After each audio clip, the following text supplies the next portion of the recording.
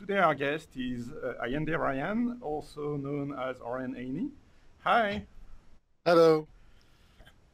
Um, so uh, you uh, you work for a company called Hibernating Rhinos that you founded. Mm-hmm. And Yes. uh, the, the the main product that uh, that you guys are making is RavenDB, correct? Yes. Yes. Uh, it's a NoSQL uh, document database. NoSQL document database written in .NET, about eight years old now. Eight years old already. Yeah. Wow. Yeah, I have no idea where the time went. Uh, okay, so uh, first, um, uh, let's talk a little bit about uh, document databases and uh, relational databases. You've been involved in the development of NHibernate, which was uh, Yeah. an object relational mapper uh, Mhm. in .NET. That was a, Yeah. um, a port from uh, a Java project. Um, So, uh, And- and, and you're well known for that. Uh, so, what led you uh, to go from that that uh, relational world from the, the document world? Extreme level of extreme level of frustration, just incredibly so. So as you mentioned, I was working uh, in the NHibernate project, and at some at one point this was me doing 100% uh, work on just that, uh, whatever it is to work on uh, issues, uh, development features, or most commonly going to customers and actually helping them build new stuff and improve existing things. And the problem was that um, I kept running into the exact same issues in every single customer. And it drove me crazy because uh, I was basically treading water. And my customers were always, you know, I would come in, I would spend anything from a couple of days to a couple of weeks. And by roughly doing the same thing over and over again, I was able to gain increases of hundreds of uh, uh, improve of two, three orders of magnitudes. Hundreds of percent was the minimum number that uh, I would actually commit to. I don't know your project. I don't know what you're doing. If you called me, that means that I can come in and, and uh, improve uh, uh, the core functionality by you know two, three hundred percent. Why? Because you always do the same mistake. So it was uh, easy for me to make that that guarantee. And those type of mistakes typically uh, were done by people that were highly skilled, they were uh, extremely devoted, and they were really passionate about what they were doing. And I couldn't really understand what was the issue. And at some point, I sat down and really looked at uh, all of the common stuff that I, that I was seeing, and all of them had to do uh, with the impedance mismatch between the kind of application that we are writing today and the uh, kind of database that we use. Um, the trivial example is let's take a, an order page. In an order page, I want to show you, okay, you purchase uh, three pints, uh, three pints of beer and you know some fish and chips, something like that. So I have to go and look at the orders table, the customers table, I have to look at the order lines table, the uh, products table, and I have the payments table, discount tables, and a whole bunch of other stuff like that. And that means that just doing something that should be trivially simple, like showing an order, now require me to touch at the minimum about seven to uh, ten tables, and it and I have to do that in a way that is extremely efficient. Now, the killer thing here is that if we're talking about, you know, you have two, three items in your order, then uh, everything works. And this is what developers usually work with. When we start talking about, hey, what about if uh, we have a strategic order? Someone just went and bought, you know, uh, 200,000 items, and they want to look at the order page and suddenly you're now uh, issuing uh, hundreds of thousands of queries to the database to fulfill this order. And that's just insane. Now, uh, at the time, I was looking at uh, other options, and I ran into NoSQL, and it clicked. It it meant that okay, now I get that. Now I see that uh, this is the way this should be, because uh, this is a database that actually work with the kind of application that I'm, that I'm writing. The only problem was that um, the the kind of databases that were there at the time, we're talking about 2007, 8, something like that, uh, were extremely sharp tools. So think about what happened if you had to cut your uh, your food with a steak knife that had no handle. If you're extremely good, you're able to do that. Most of the time, you're going to bleed all over your dinner. so, uh, and I'm a spoiled uh, developer. I want to do things the way that I always did them. And I said, I said, look, I really like this model, but I want to have transactions and safety, and I want to be able to do a whole bunch of stuff uh, that are supposed to be easy. And you know, I want to store data into my database, and I want to be able to look at that and not through you know some command line interface or something like that. And that was, I think, uh, uh, the good things some of the other guys says, oh, just run this curl command and uh, it will output some unformatted JSON that you need to look at and do stuff with it. And so I sat down and I started designing uh, what I thought about was the ideal database, having absolutely no intention whatsoever to do that because only crazy people uh, uh, would go into a project of that scope. Yeah, I was, eh, I was, going to ask what what could possibly motivate you uh, to to start on such a project that you must have known from the start was going to be huge. Uh, so, uh, so yeah. So the problem was that. Uh, do you know that feeling uh, in the back of your head that something is there? Uh, it's like a bee or something like that. I, I mm. typically get that if there is a, a hard bug and I know that I know the issue. I know I, found the issue. I just don't know what it was, and it, it, it, can drive you crazy. And then you go to the store and you go Eureka in the in the middle of the line. Uh, so it was like that, but it lasted for months. And you know, at one point, uh, 2 a.m., I wake up and I, I see UML diagram on on the ceiling of all of the moving parts and how they interact with one another. And I said, okay, let me just throw it as a blog post. Let me just write it out and it will get out of my head and then I can, you know, go and do some real pain work. And it it helped, but uh, after a while it, it, it kept on buzzing, and then uh, I said, okay, let me, uh, I will take a weekend, I will uh, write it, I will run into the issues that are impossibly, impossible for me to do, and then I will move on. I know I've done it, I failed, moving on. Uh, three weeks later, I found that I'm actually spending uh, about 120% of my time doing this, another 50% of time doing uh, actual pain work, and you might have noticed that there is no time left whatsoever. uh, so I decided that okay, uh, I know this is going to fail, but apparently uh, I have no control over what my uh, muse is doing.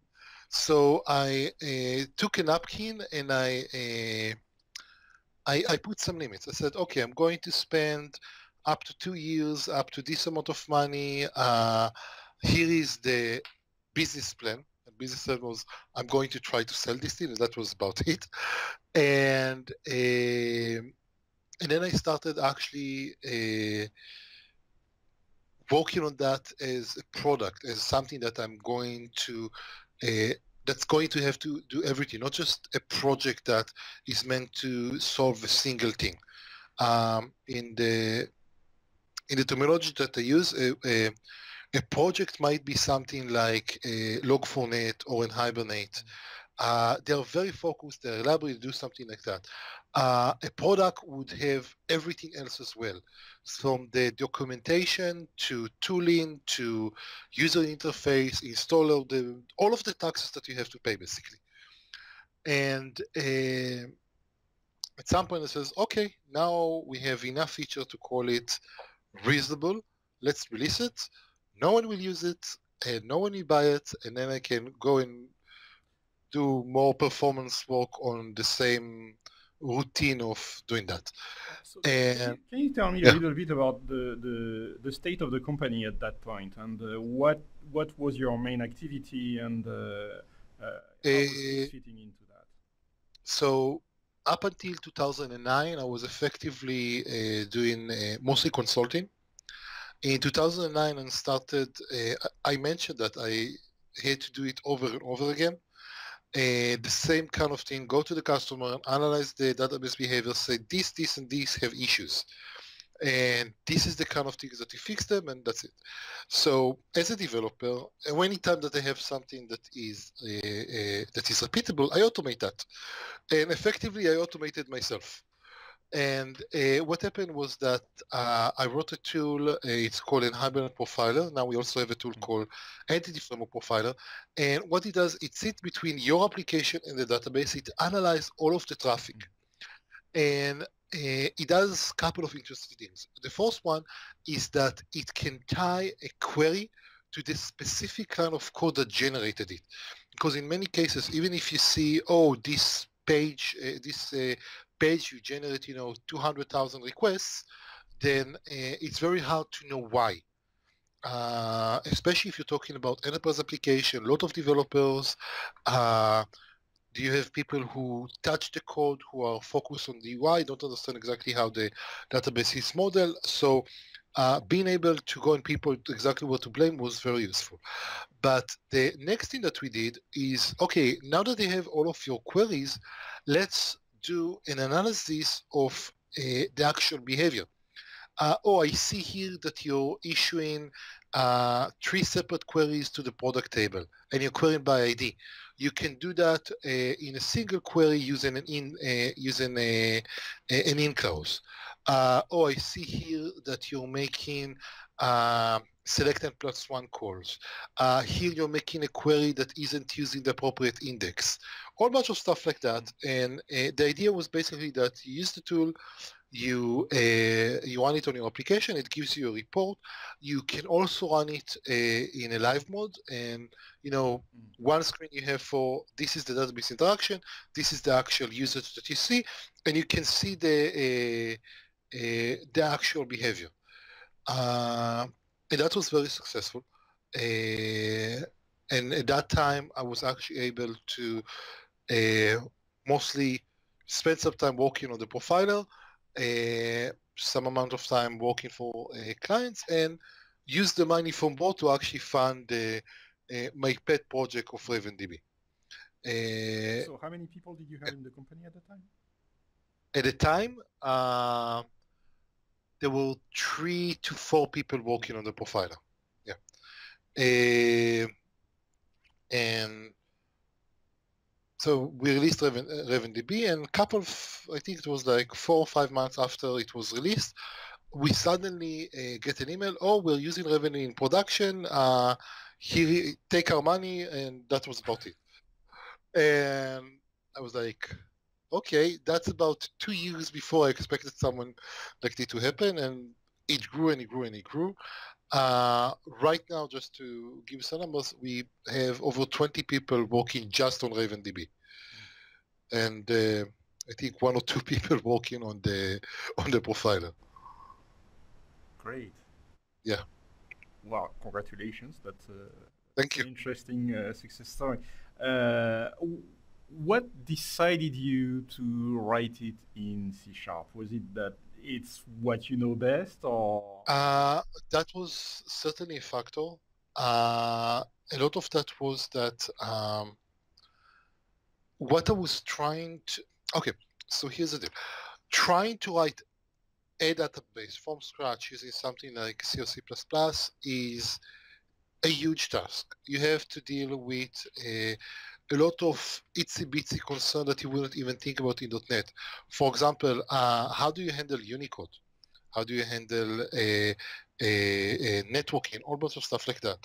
Uh, by using .NET, I was I, I was both working in familiar settings and was able to utilize everything uh, pretty much from the get-go. It also helped that uh, I was very focused on uh, building for .NET developers at the time.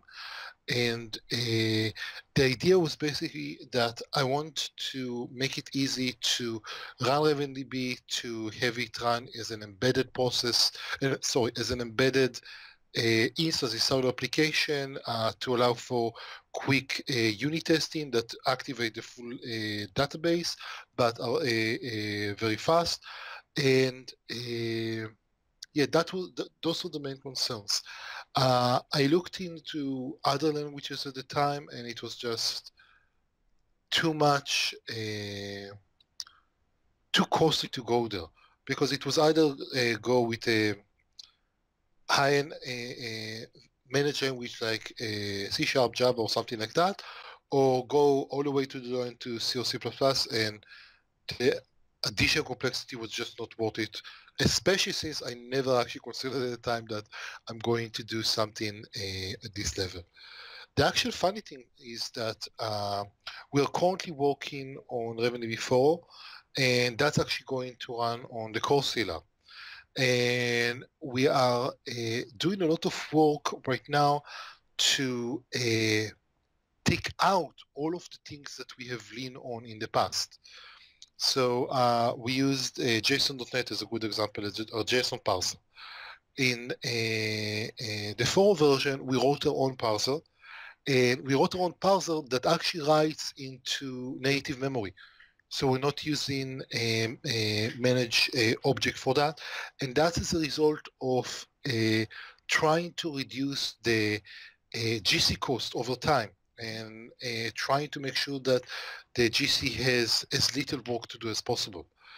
Um, and even so, uh, some of our code uh, looks very much like C, but even so, uh, large swathes of it that, you know, I don't care. I just, you know, uh, there are so many taxes that you have to pay when you write a product of this magnitude. So we have a lot of uh, debug endpoints and uh, stuff that happen in the background. So if it's not performance critical, I can afford to have, you know, nice, clean, easy code that leans on the entire framework to do stuff for me instead of, you know, having to roll my own string class, mm. which is not fair because we actually did roll our own string class. yeah. Uh, yeah, well, at least we have only have two. In most most uh, large scale C++ projects, you typically have multiple string classes. Yeah, which is fun. Mm-hmm. Yeah. So, so what is your uh, custom class for strings doing? Is it UTF-8 or something like that? Uh, it's UTF-8, but uh, the actual reason that we need it is um, uh, okay, so there are a couple of issues here. Uh, think about JSON, and JSON can have a JSON have strings, and JSON strings are uh, have what it's called have escape characters in them. So uh, let's say that you have a, a JSON string that has a, a newline in it. Uh, as it turns out, roughly uh, 25% of the cost of writing a, a JSON using JSON.NET is spent specifically because it needs to handle those escape characters. Because it needs, whenever it needs to write a string, it first needs to scan it to find a, a, the escape character. Then it write up to this point, write the escape characters, then write the rest. And uh, that kind of thing actually kills performance because you aren't able to uh, because effectively you have to scan the memory twice you have to do a lot of work and when you write you write in if you call the IO system multiple times. Uh, one of the things that we have done is when we process the string we already process the escape characters and at that point we can do that in one shot so just go over the string in, in a, a one go and uh, throw it all away. And, and now, and we also have another presentation on the same memory block that uh, gives you the uh, the string with the um, escape characters um, already uh, unescaped. So the new line would be a would be a slash n instead of slash slash n. Uh, and that, uh, uh, there is that. There is also another problem, uh, that, that was the major one. Uh, whenever you talk about system programming, um, when we talk about needing to move a, a large-scale data, big data, stuff like that, uh, you really need to be aware of the kind of a hidden cost that you do. Now, if you're trying to operate over a data that uses JSON, then you typically all the time using string and, and cut them and do a whole bunch of stuff with them. The problem there is that every time that you do work with strings, you allocate more memory. And even if this is for a short amount of time, then uh, that's actually extremely costly because it needs to be uh, garbage collected and all sorts of stuff like that. Uh, we've actually moved to uh, allocating everything on the unmanaged heap and using arena allocator to do the work. And then uh, once we finish processing the request, we can just reset the, uh, so we allocate a bunch of memory. And then every time that you, uh, every time that you allocate something, we just bump the pointer upward uh, we use the notion of a context, and when the context is over, we can just reset the, uh, the last allocated item and effectively free all of that memory in a single instruction. So effectively, every context has, you know, one to 16 megabyte, however, man, however much it needs, and uh, it stays fixed. So we don't have fragmentation, we don't have GC cost, all of that uh, worry just goes away. Um, we're actually able now to uh, to run a, bench, a benchmark test. And one scenario uh, used to allocate something in the order of five gigabyte of memory per second. And now it's and now um, all of which were effectively very short-lived temporary values. Uh, now, because we're using a, the arena allocator and able to reuse the memory, we don't need we don't have any GC cost, and we're able to uh, have, to do that with a fixed memory footprint, which is much much better for a whole bunch of reasons. So yeah. your your string is very very heavily uh, specialized uh, for. Uh, yes, yes, that's one of the things that we have decided to do. We're going to stop using anything that is costly for us and just write our own uh, just write our own system to handle that. Uh, it comes from anything from uh, we wrote our own login infrastructure, and the only reason the reason we did that was that uh, nlog and log4net has a incredible richness which come at a certain cost. So right now, I think that uh, we are able to saturate uh, any hard disk that we tested this on with uh, the amount of logs that we are uh, that we are writing, and um, that's basically it. Uh, that's that's what I want to do. So I'm fast enough to kill the hard disk, and from there on, it's ops problem. Uh, yeah, um, we actually had a, a bug in in nlog, I think it was, uh, what happened was that uh, in production, they enable debug level for some reason, and they need to troubleshoot something, and they just forget it this way. And at some point, we get called, and we get called because uh, the GC is taking a lot of time. And it was a whole mess of trying to figure out what was going on, and effectively, they were under load. They were uh, uh, running with full debug uh, logging. Uh, they were able to uh, write enough log entries, uh, was actually doing work and writing enough log entries that it saturated the uh, queue to write to the disk. When it did that, what nlog did was effectively, okay, I'm going to discard the existing instance, the, exi- the, the new log entries. Now, when that happened, uh, this typically happened because there was a lot of uh, work on the hard disk because RavenDB was actually writing to the hard disk data. And that meant that log entries, and a lot of log entries, would sit there and wait to be written to disk, would be promoted to Gen 1 and Gen 2. and immediately discarded. And then more new entry would go there, also be promoted to Gen 1 and Gen 2, and also immediately be discarded.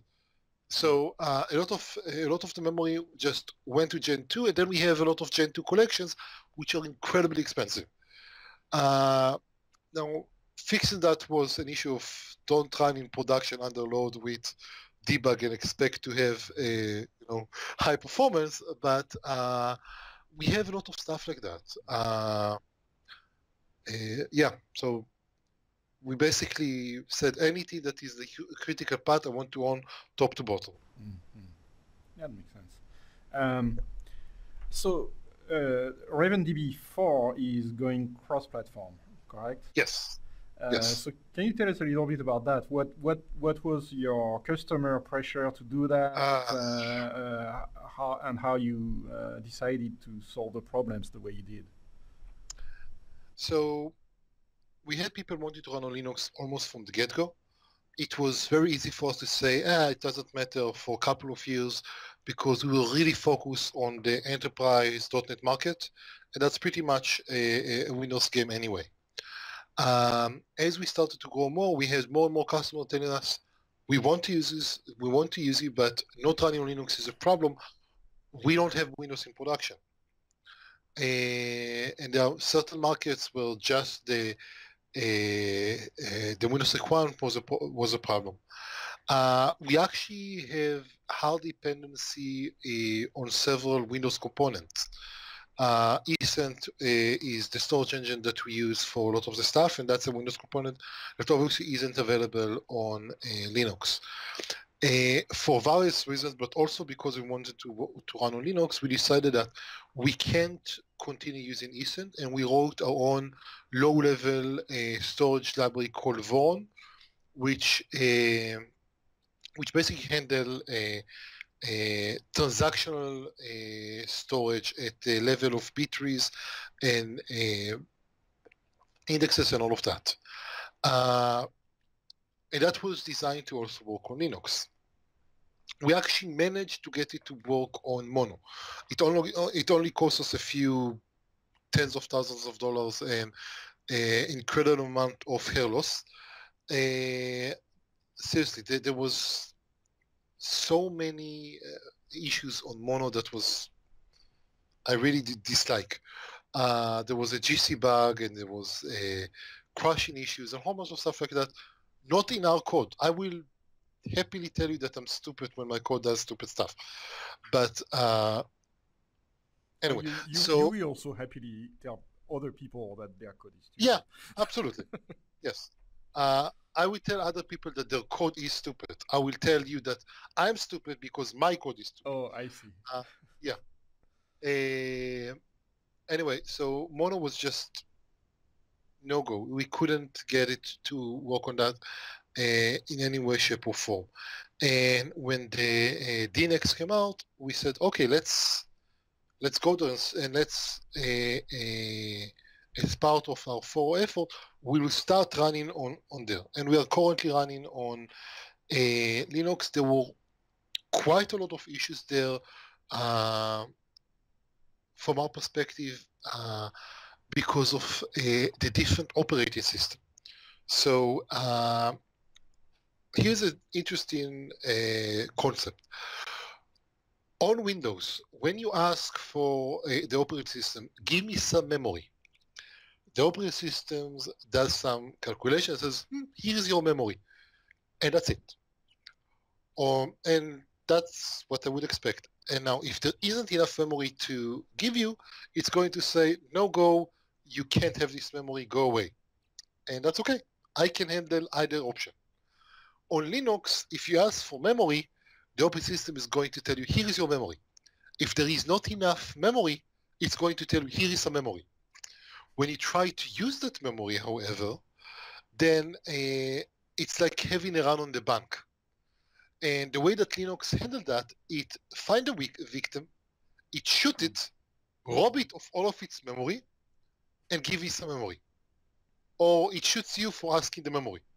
It's called the out of memory killer. I have I've heard quite a lot about that. and I still can't believe that an actual server class operating system can do that. There are configuration options to disable that, but yeah.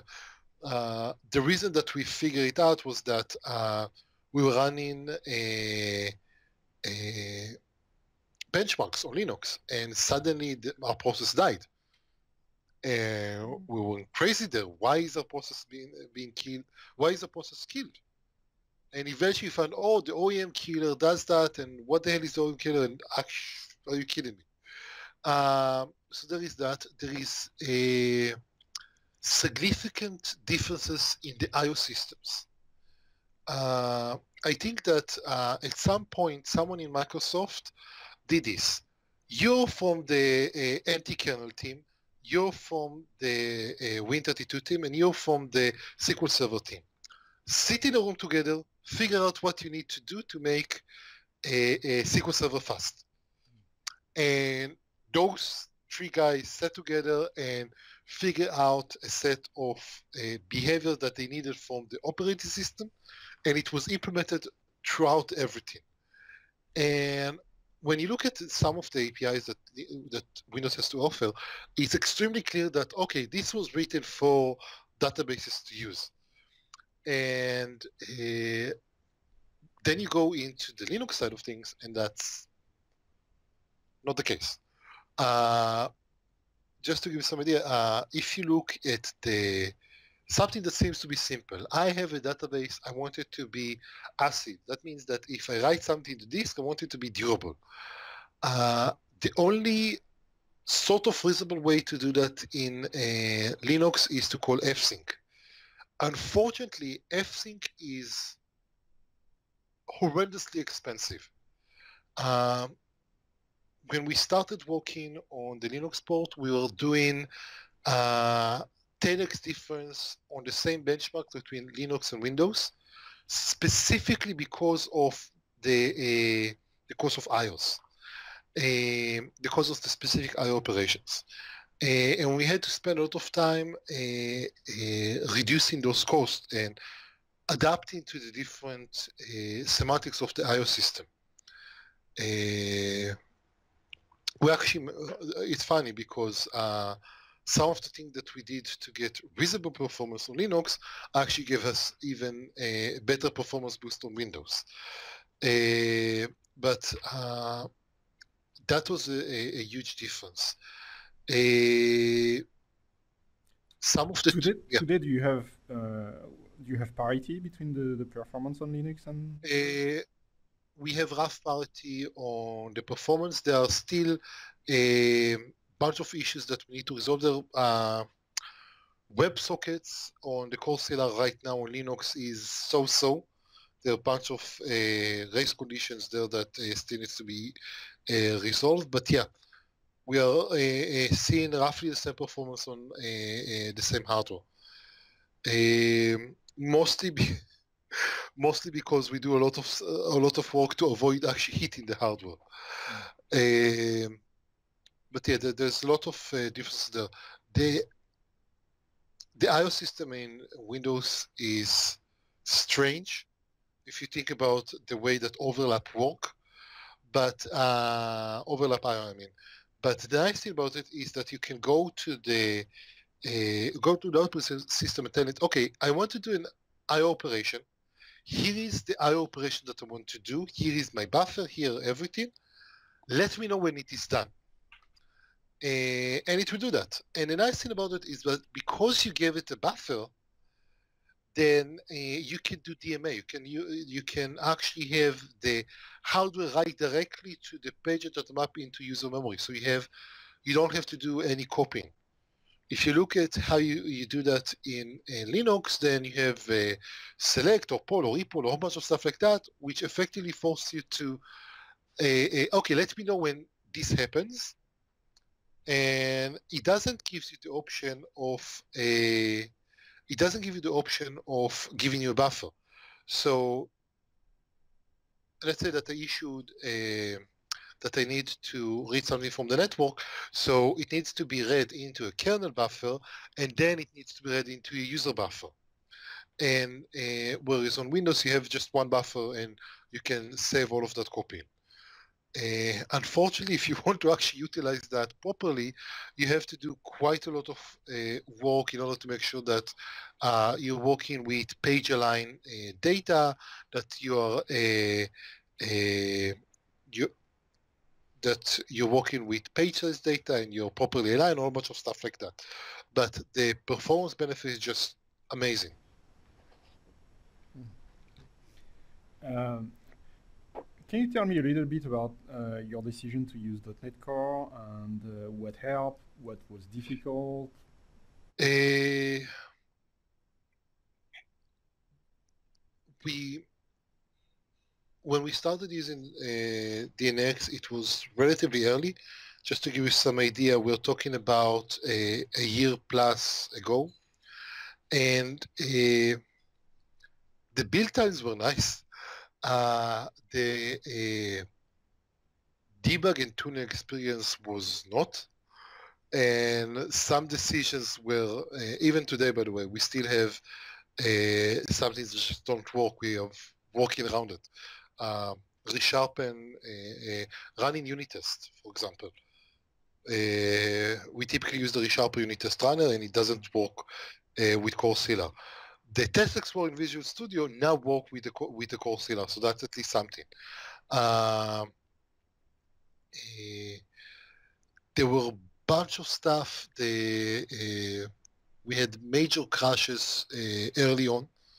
Uh, we're doing relatively low-level stuff and we run into some issues. But honestly, when we did that, we did that with the experience of using mono and the difference of doing those for days and night. It's just 90% work, the 10% that didn't work, uh, we had really good feed, uh, feedback and support and stuff that, okay, this is going to work. Or uh, we had access and actual reasonable code base that uh, we can look and figure out why it doesn't work uh, one of my guys is sitting there and uh, actually looking at the uh, machine instructions that are being generated for various uh, hotspots in our code, and then he goes and open issues at the, uh, to the JIT team, and some while later we get a reply, ah yeah, that's a good idea, let's do that, and our performance improved by five or ten percent. Uh, yeah, uh, um, one of the things that we need to do, we need to hash a bunch of stuff, and there are a certain set of operations that are very common in hashing. Uh, basically, you need to do a rotating a rotating bit uh, rotating bits. I don't remember the assembly instruction right now. I think it's SBR or something like that, and that's something that um, very common for uh, hashing he figured out that uh, the JIT wasn't doing this optimization, asked for it, got it. The entire cryptography su- suite in uh, .NET was improved because of that. The uh, look, uh, I've been doing .NET for the past 15, 16 years. When whenever it came out, that was when I started using that. And the typical uh, behavior was, okay, there is a bug. Hmm. Uh, you have two options a, if you work in for, you know, a Fortune 500 company, uh, you can raise a lot of stink and maybe get a bug fix. Most cases, you just have to live with it and walk around it or something like that. Because even if, you know, uh, I found a, a, bug, it's actually an important one, it gets, it will get fixed, no problem. In 12 to 18 months, you will have the fix in your hand. Mm which which require me to move you know from a .NET 2.0 to 3.0 or 3.5 or whatever this is, and which is okay. In 12 to 18 months, I will be on a completely different project. I wouldn't even remember this is that, that this problem exists. Uh, now we're talking. Okay, I have a problem. Uh, I can either get, fix it myself or if I don't fix it myself, just by raising that in many cases, someone from the team looks at it and says, hmm, that seems like this is an important thing to have, fix that. And I have that, you know what? I can have that on the same day from one to one on my own custom build code, or I will have it, you know, in a month or two when it's actually a, a, a release, and that's that's a very different ballgame in terms of the uh, the kind of thing that you can do. Yeah, the, the, the experience is very different. Yeah, it used to be the case that you would have to go through something like Connect even to to report problems, and that Why? that felt like a black hole. yeah. From, from the, I, I reported a bunch of Connect stuff, and just like I'm wasting my time. Like, even if uh, there was a great uh, Connect bug, uh, if you call convert, can convert uh, to an int, and you pass it the string uh, yesterday, it's going to, to reply, yes, I can convert it. When you try to convert it, obviously will throw. And someone opened a bug for that, and that was just when Connect was out, and it was in the .NET 2 uh, timeframe, and it was resolved as one fix. Uh, there might be someone who rely on that for backward compatibility reasons. Seriously, and that was uh, and that was the, the experience for a lot of people with Connect. And even if you didn't have that, the time frame was just irrelevant. Yeah. Yeah. Uh, now it, it really helps that you can actually get a hold of, of actual people working on the code very, very easily. You just go to GitHub and. Uh, yeah, and you know what? Uh, I, I actually had. Uh, we had a crashing bug. Uh, and we traced it down to the JIT, uh, uh, sorry, to the GC. Uh, during GC, sometimes we would crash and burn. And, you know, okay, I take a dump, I look at that, I see, okay, I that's the GC fault. I'm posting that on a, I'm posting that on a GitHub, and it gets looked at they tell me, okay, this is heap corruption, this is your fault. Uh, that sent me on a wild goose chase somewhere completely different. Uh, didn't understand what was going on. Uh, eventually figure out that a, a, certain change that was completely unrelated uh, f- fixed the crashing issue. Uh, got into a panic because the only way this could happen is if a fixed statement in .NET weren't actually fixed and could be moved during uh, GC. Reported that. Uh, the uh, again, I get an answer within you know few hours. The uh, uh, to the point where okay, you see this piece of code in your own code. Uh, you declare an array to be of size 40 and then you write to it uh, a length a user managed code, you write to it length of 100, which corrupt other part of the heap. That's the problem. I'm just looking at, yes, I'm stupid. You're absolutely correct. That's the problem. And that's a level, th- th- that's an experience that would never happen uh, anywhere else. I'm not talking about, you know, I paid for a, a, a enterprise support and I get someone on the line or something like that. I'm talking to you just, you know, random guy sends a, a, a loaded dump to GitHub and my code get debugged and people find a, a, a and and they find the, the the bug in my own code that I looked and I looked at that. It was one of those things that uh, uh, very obvious in retrospect, but you know I just look at the code, look at the code. Nothing is wrong here, obviously. Uh, the, the, that's golden. That's that's golden. Yeah.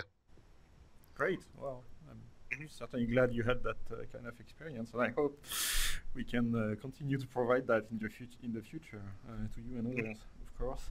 Um, yeah. Okay. So, uh, what what's next for RavenDB? You you talked a little bit about Raven 4. Mm-hmm. Yeah. So, what's, what's the roadmap? Uh, right now, uh, we're heading toward a preview release of RavenDB 4 at the end of the, the year. And we effectively have uh, several goals there. One of them is to run on the CoreCLR, hence run on Linux. Uh, the other thing that we really want to do is a, we basically set ourselves a, a goal. Everything that we used to do, I want to do an order of magnitude better. What does Uh, that mean? okay, so I'm running a benchmark. Uh, right now, I can do, you know, let's say 5,000 requests a second, which is awesome. You know, very few uh, uh, scenarios need more than that. Uh, and I said, okay, let's see if we can get, uh, let's see if we can hit 50 requests a second, uh, 50,000 requests a second. And we hit that. And then we hit 100,000 requests a second. And at some point, uh, we currently actually don't know how fast we are uh, because on every single uh, system that we have tried, we have we're, we're able to saturate the network hard- hardware before we're able to saturate the machine. Uh, we actually got a couple of cloud machines and tested it there, and then realized that in order to actually use uh, the full 10 gigabyte network on, uh, we were testing that on Linux, uh, we need to do some nasty stuff to recompile the kernel or something like that. Uh, so we wait until we are closer to the uh, release date to, to rerun those benchmark again. But um, that's one of the uh, major things that we're looking at. We also decided that as long as we're doing all of this work, uh, I'm going to uh, build a time machine, go back to all of the design decisions that were made, and see if they hold up at the test of time. Um, so, for example, uh, we made a, a large, a, we have a, a large number of tasks internally that we're running using the thread pool, the TPL and stuff like that. And uh, the idea was that we want to parallelize as much as possible a lot of the background work. That was actually a mistake. That was actually a mistake because uh, a it's background work. I typically don't care about uh, about it. What I do care, I really do care about um, a, a, the operation side of that. So can I see exactly what's causing a slowdown? Can I uh, prioritize things at a granular level? Uh, uh, and can I hold accountable whoever is doing certain things? Uh, so we moved actually certain things into their own dedicated threads, and now they're running on that. And uh, suddenly we have a new architecture where we can say, oh, uh, we're under load. Let's reduce the priority of all of the uh, background threads so they don't impact us. In fact, why do we have to do that under load? We can just say, let's run them all the time at a below normal level so uh, the operating system scheduler can now start doing this. Oh, I have a request coming in. It's get pre- uh, the and the background mode gets preempted, and now I have a, a the now I have the request running and doing the work. A whole bunch stuff like that that uh, uh, we change how we, do things. Um, we also do a lot of work on the user interface. Um, it's really funny because uh, what we sell is a database product, uh, but what we uh, what people look at and they make a decision is based on the user interface for the ma- management studio. Uh, so we actually run a bunch of UX tests and user studies to see how we can improve that and show people exactly what's going on and guide them to, to doing the right thing. Um, it's actually a lot. It's actually really humbling when you look at the results and it says, "Hmm, this makes absolute sense because this piece of UI was actually written from the point of view of, well, me. I wrote this. Uh, uh, I wrote this code, and this piece of code is being reflected all the way to the UI in a one-to-one manner." and then you think about okay when you need to uh, run full text search you need to mark the field as analyzed and when you look at it in the ui how am i supposed to go from full text search to analyze and how do i know that uh, i have to mark this field when it's hidden in some menu couple of uh, levels deep and a whole bunch of stuff like that like obviously that's the case, and we didn't uh, know that. So we spent, so we're going to spend a lot of time on that.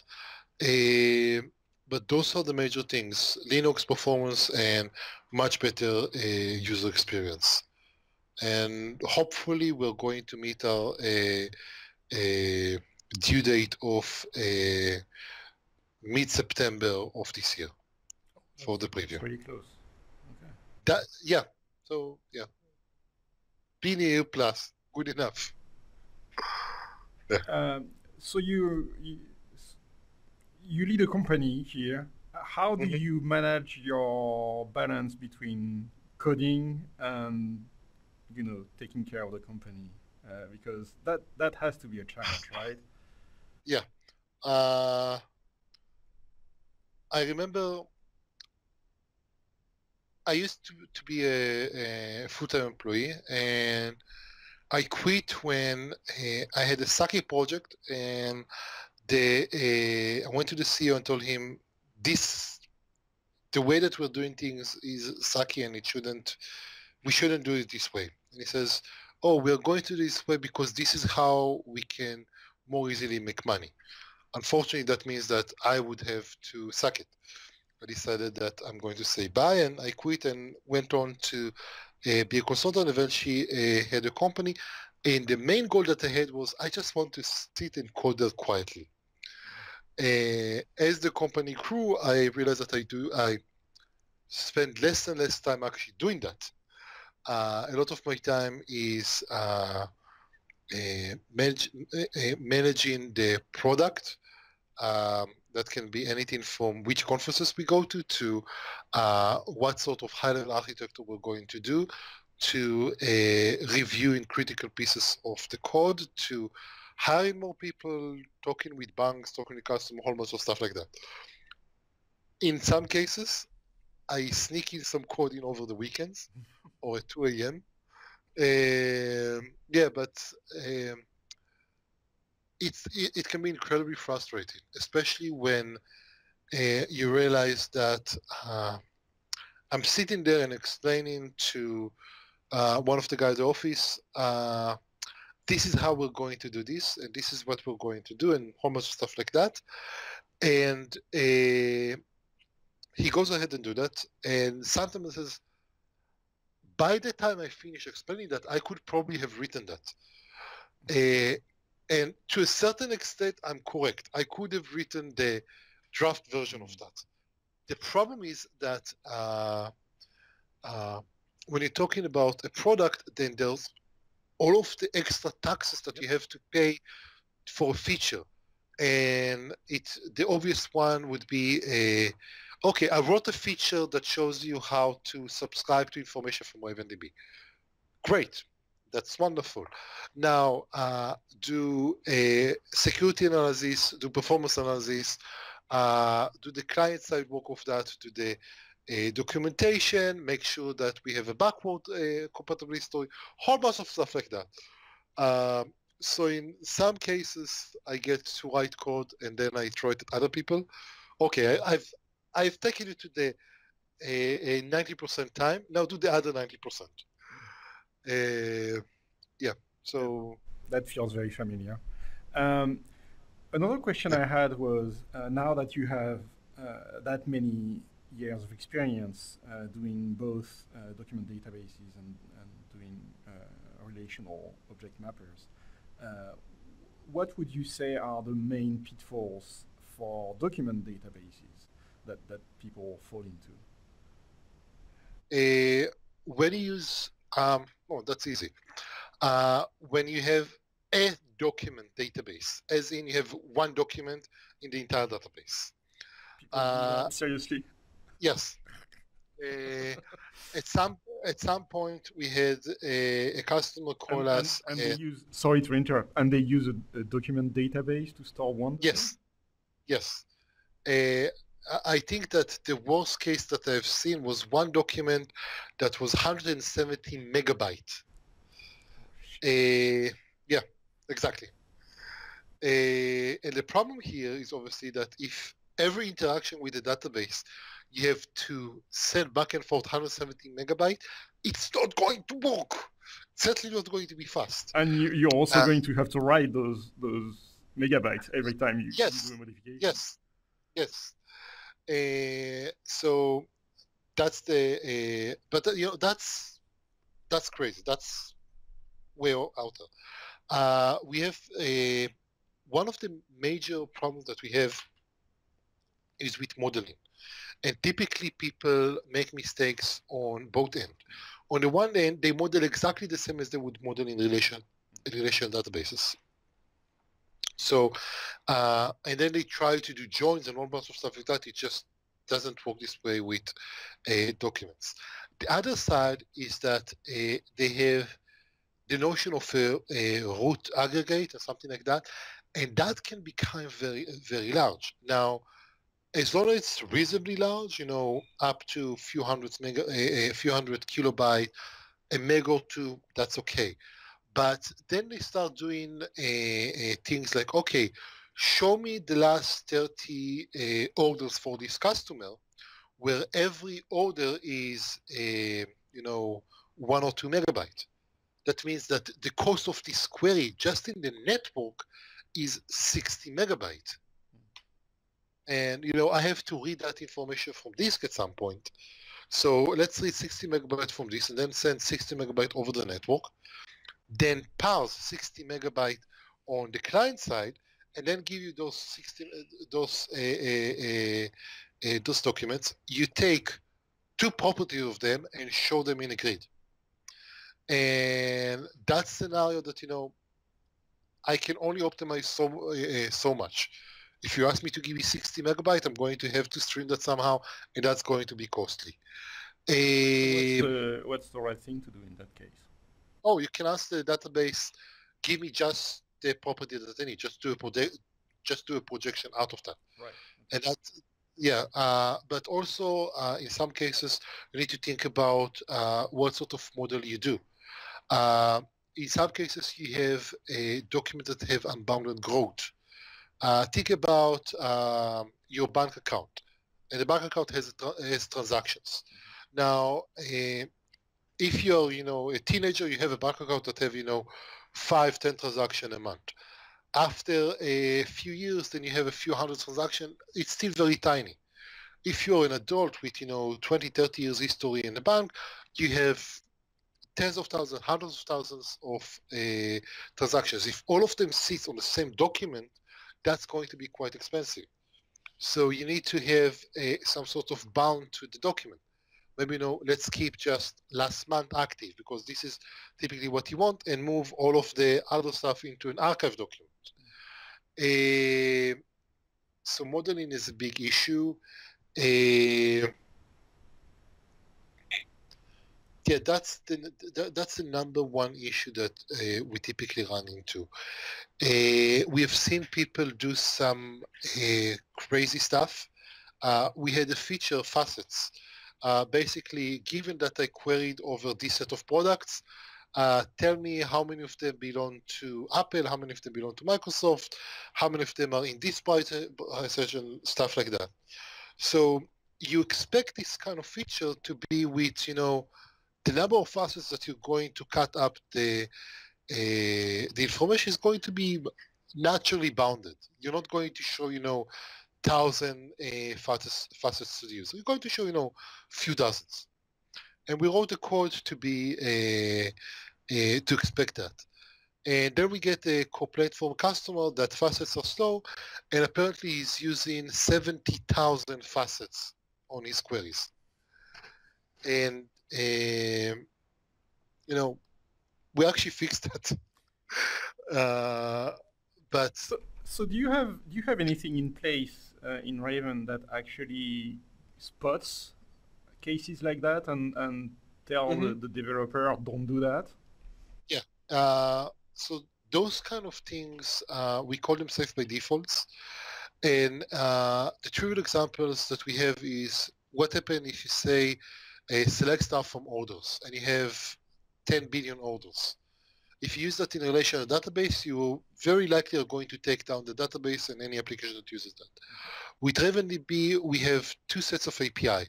One of them is the normal query, a, a normal query that says, okay, give me some data, and I'm going to say, okay, there is a limit to how much data you're going to get. If you ask me select stuff from orders, I'm going to give you the 4,000 or so. Uh, we also have uh, because the idea is that this is a buffered operation. This is something that is typically going to want to run very fast. Uh, the other option is to use streaming. Basically, okay, give me all of the data in orders, regardless of how big it is, and then both of the server and the client are going to stream the information so you don't have to buffer everything in memory, send it over the network, buffer it on the client, and then only then hand it over. Uh, another uh, feature that we have is the um, governor on the number of requests per uh, number of requests per session. So the typical example is that uh, every uh, if you're talking about a web application, so every web request is going to have a session assigned to it. And we're going to say that the session has a maximum budget of time that it can hold to the database. If you go beyond that limit, we're going to actually throw an exception. Now, this is configurable. You can say how much uh, you want, but the idea is that we want to say stop and think about what you're doing.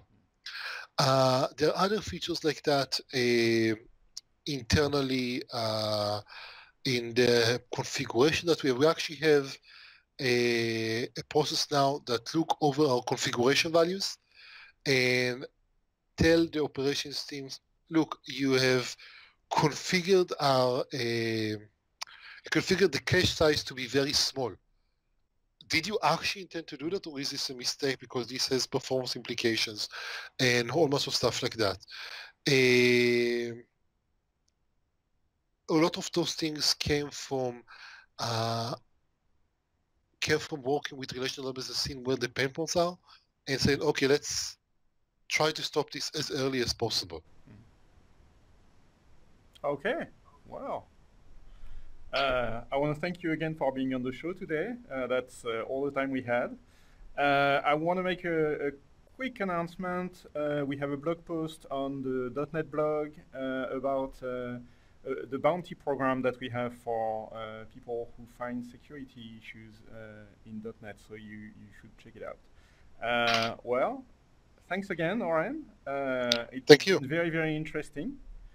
and bye-bye, everyone. We'll see you again next week.